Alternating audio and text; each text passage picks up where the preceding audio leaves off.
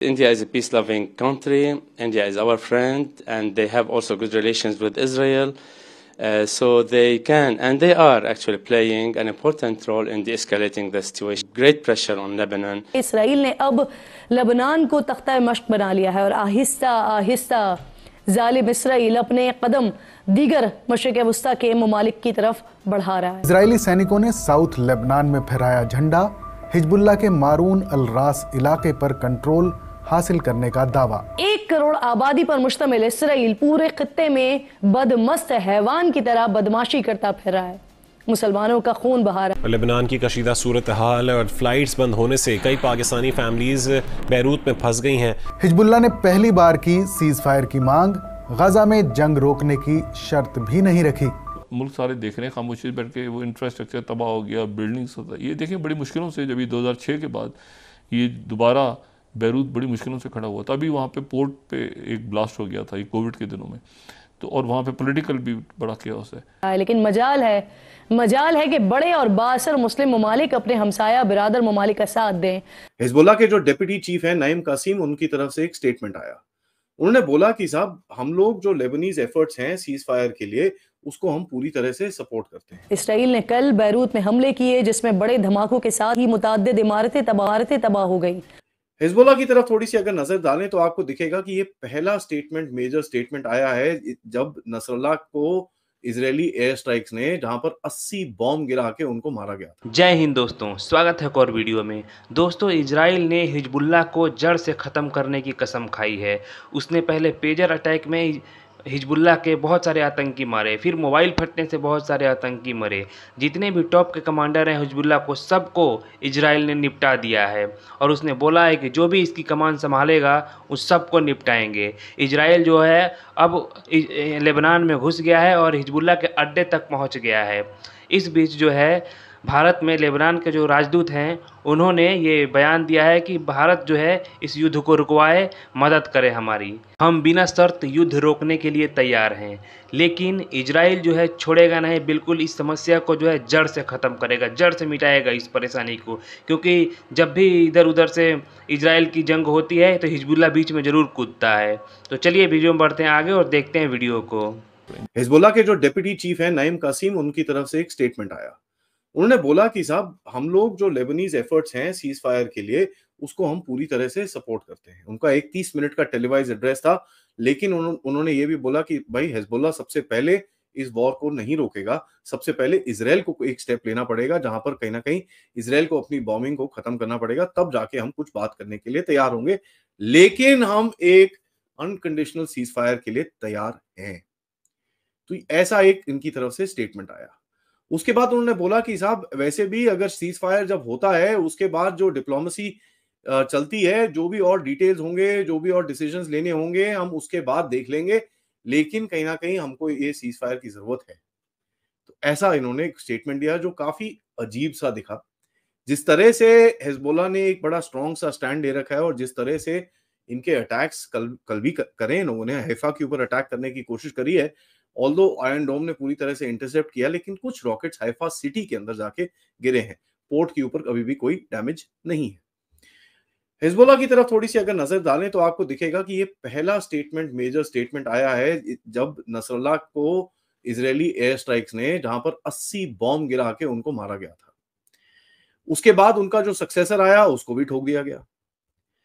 अभी ये जो नईम कसीम जिसको लीडर मानते हैं हिजबुल्ला का, उन्होंने बोला कि साहब, उन्होंने अपने आप ही बोल दिया कि भाई अभी हिजबुल्ला को कोई लीडर फीडर नहीं है। क्योंकि इसराइल ने बड़ा क्लियरली बोला है कि जो भी इस ऑर्गेनाइजेशन की लीडरशिप की पोजीशन में बैठेगा, हम उसको ठोक ठाक के बराबर कर देंगे। तो यहाँ पर आपको ये दिखता है कि एक खौफ है कि भैया, अगर मैं लीडर बन गया तो मेरे भी जरा दिन ना चौबीस अड़तालीस घंटे से ज़्यादा नहीं होगा और मेरे को भी ये लोग यहाँ के मार मूर देंगे। तो उन्होंने बड़ा क्लियरली बोला कि साहब, हम एक इलेक्शन करेंगे और एक उसके बाद सेक्रेटरी जनरल इलेक्ट होगा, उसके बाद जो हमारी ऑर्गेनाइजेशनल प्रोसेस है, उसके हिसाब से हम पूरा एक एक जो भी प्रोसीजर फॉलो करना है, और फिर हम अनाउंस करेंगे कि साहब कौन लीडर बनता है हिजबुल्ला का। तो यहाँ पर ऐसा लगता है कि भाई किसी को भी इस लीडरशिप पोजीशन में बैठना नहीं है, क्योंकि सबको पता है 24 से 48 घंटे से ज़्यादा इनकी लाइफ नहीं हो दोस्तों बेंजामिन नेतन्याहू का एक बहुत बड़ा बयान आया और बयान ये है कि हमने हिजबुल्ला की फाइटिंग कैपेबिलिटीज को एब्सोल्युटली डिग्रेड कर दिया, यानी कि खत्म कर दिया है। अब हिजबुल्ला में वो क्षमता नहीं है। हाँ, छुटमुट ठाठू कर सकता है ठुस ठुस कर सकता है। गली मोहल्ले में गोला मार दिया, गोली मार दी, आरपीजी मार दिया, रॉकेट मार दिया, ये सब हिजबुल्ला कर सकता है। लेकिन हिजबुल्ला का जो प्लानिंग का इंफ्रास्ट्रक्चर है, जो स्ट्रेटेजिक उसके टॉप लेवल के कमांडर्स हैं बेंजामिन नेतन्याहू का यह कहना है कि हमने सबको साफ़ कर दिया। दोस्तों, हसन नसरल्ला 27 सितंबर 2024 को इसको ऑफ़ कर दिया। जैसे ही इसको ऑफ़ करा, इसको गुड नाइट बोला तो लोगों ने बोला कि हाशिम सैफुद्दीन है, ये इसके बाद बनेगा। ये इसका रिश्तेदार है, ये इसका कजिन भी लगता है, इनकी रिश्तेदारी है तो ये बड़ा भरोसे का बंदा है। इसराइलियों ने चार अक्टूबर को हाशिम को भी ऊपर पहुँचा दिया बहत्तर रूरों के पास। फिर उसके बाद बोला कि इसका रिप्लेसमेंट एक और है। इसका रिप्लेसमेंट एक और है, उसका नाम ही नहीं बताया। जैसे ही उसका पता लगा इसराइलियों को कि हाँ यही है वो। आदमी जिसका नाम नहीं बता रहे, ये हाशिम सैफुद्दीन के पास आया, इसको भी चार अक्टूबर को, उसी दिन इसराइल ने 27 सितंबर और 4 अक्टूबर के बीच हैट्रिक ले लिया। इन तीन बंदों को इसराइल ने उड़ा दिया है दोस्तों, और इसके बाद अब सुहेल हुसैन हुसैनी, सोहेल हुसैन हुसैनी को 7 अक्टूबर को यह भी एक बहुत बड़ा इनका तगड़ा कमांडर था, यंग बंदा है, जिसको कह रहे थे कि हाँ, ये एक दिन हिजबुल्ला का लीडर बनेगा, इसको भी ऑफ़ कर दिया। अब आया है आखिरी में यह यह है शेख नईम कासिम। अब शेख नईम कासिम का मामला है कि शेख नईम कासिम को ढूंढ रहे हैं ये लोग। शेख नईम कासिम कभी बिस्तरे के ऊपर सोता है, कभी बिस्तरे के नीचे सोता है। कभी अलमारी के अंदर सोता है, कभी बाथरूम में इस फिराक में कि भैया मैं पकड़ा ना जाऊँ, इस चाहत में कि मैं पकड़ा ना जाऊँ, क्योंकि इसराइली अब मेरे पीछे पड़ चुके हैं। चुन चुन के, चुन चुन के पहले हमास को इन लोगों ने साफ़ करा। आपको याद होगा दोस्तों कि 7 अक्टूबर 2023 को अटैक हुआ था, तब। उसके बाद बेंजामिन नेतन्याहू, जो इसराइल के प्रधानमंत्री उनका एक बयान आया, बड़ा मशहूर। Every Hamas man is a dead man walking. उनका कहना है कि जो भी हमास का बंदा है is a dead man walking आप ये समझ लो, वो आज सांस ले रहा है वो कल सांस नहीं ले रहेगा। ऊपर से नीचे तक मैं सबको खत्म कर दूँगा। कर भी दिया। इस्माइल हानिया को तेहरान जाके मारा। इन लोगों को यहीं पे निपटाया। मैं फिर आपको बताता हूँ, इनकी स्टोरी दोस्तों बड़ी इंटरेस्टिंग है। आप सुनिएगा। मुझे ना ये ये जितने भी बदसूरत लोग हैं, इनके चेहरों के आगे क्रॉस बनाने में बड़ा मज़ा आ रहा है। इसलिए मैं क्रॉस बना रहा हूँ। ऐसी बात नहीं कि आप पहली बार नहीं समझे, आप समझ चुके होंगे, लेकिन मज़ा तो अगर आपके हाथ में पेन होता आप नहीं बनाते क्रॉस मैं भी बना रहा हूँ क्रॉस देखिए, Hassan Nasrallah good night Hashem Safieddine good night ये कोई अनजान अननोन है good night Suhail Hussein Husseini good night अब ये जो है, ये भाई, इसका मैंने क्वेश्चन मार्क बना दिया। आप लोग कमेंट्स में लिखिए, ये कब ऑफ़ होगा। हिजबुल्ला घुटनों पे आ गया है। हिजबुल्ला ने युद्ध विराम का प्रस्ताव दिया है। और हिजबुल्ला ने कहा है नहीं, हमास से हमारा कोई लेना देना नहीं है।